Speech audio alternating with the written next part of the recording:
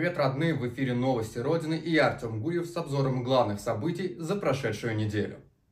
Родина М вернулась в Москву, продолжая подготовку к старту нового сезона через тренировки, участие в товарищеских матчах и мощной фотосессии в преддверии Леон второй лиги Б, где подопечные Филиппа Соколинского в ближайшем воскресеньем в домашних стенах примут «Динамо» из Вологды.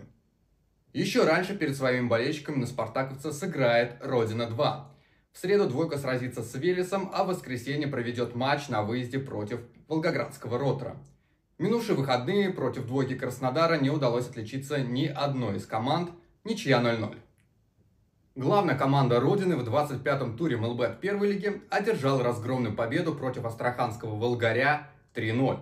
Уже к 10-й минуте матча отличились Амур Калмыков и Александр Юшин. Во втором тайме Данил Кузнецов своим точным ударом установил окончательный счет – для Данила этот гол стал дебютным за родину, а сегодня стало известно еще и о рождении первенца в семье полузащитника. Поздравляем! Уже в эти выходные коллектив Франк Артиги имеет все шансы ворваться в лидирующую группу. Против Сокола сыграем в Саратове. А пока можно порадовать юных воспитанников футболками своих кумиров.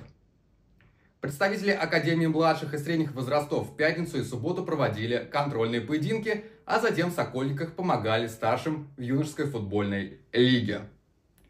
Где программу третьего тура против Краснодара открывал матч с участием команды 2009 года рождения. В игре с лихо закрученной интригой родные были очень близки к первой победе в турнире. Счет матча открыл Кирилл Капран, этот гол стал первым для команды, забитой в рамках UFL-3. Во втором тайме усилиями Ивана Яшина и Матвея Ларионова родные ушли в отрыв 3-1, но соперник смог отыграться. Итогом матча стала ничья 3-3.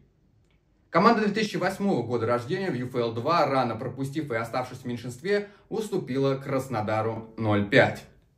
Настоящим же триумфом и моментом радости для родных стал матч с участием команды 2007 года рождения, которая в UFL-1 праздновала успех над чемпионом прошлого сезона UFL-2 в самом дебюте игры Магомед Амаров успешно реализовал пенальти за фол против Артема Аверьянова, а в компенсированное время Сергей Павлов поставил победную точку после прохода Армана Даниэляна. 2-0.